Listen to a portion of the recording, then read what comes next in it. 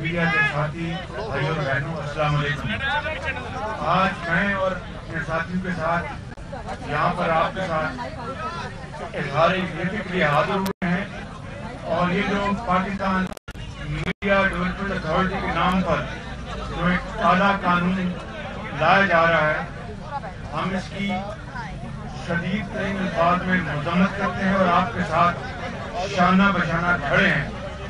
किसी सूरत भी ऐसा काला कानून पास करने की ना हुकूमत के पास हिम्मत है और ना इंशाल्लाह इसको हम पास होने देंगे।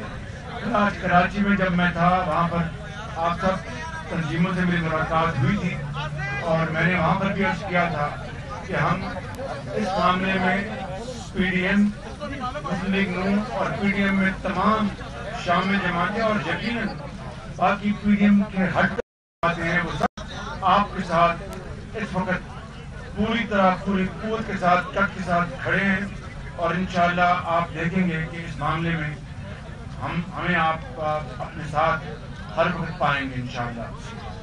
मेरा ये ख्याल है कि अभी तक हुकूमत ये मसौदा नहीं लेके आई न जाने किस सोच में पड़ी हुई है, लेकिन मेरी हुकूमत को ये तनबी है। और मैं उनको ये कहना चाहता हूँ कि ऐसा काला कानून लाने से बात रहे वगरना उसको फिर इसका खमियाजा भुगतना पड़ेगा। मीडिया के आज़ादी के लिए मीडिया ने खुद जंग लड़ी है, खुद स्ट्रगल की है। ये उनको किसी रखकर ये आज़ादी नहीं मिली।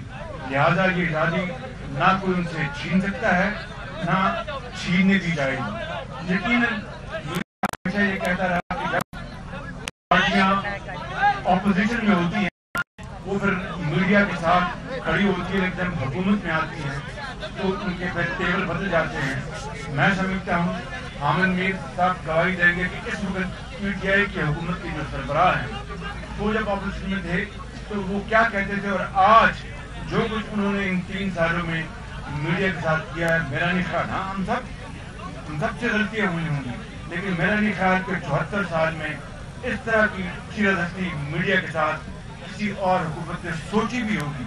करना तो दूर की बात है। आपने उनका हाथ रोका, आपने उनके साथ पूरा जमहूरी अंदाज में मुकाबला किया। तो ये जमहूरियत की बात है, ये निज़ाम की बात है।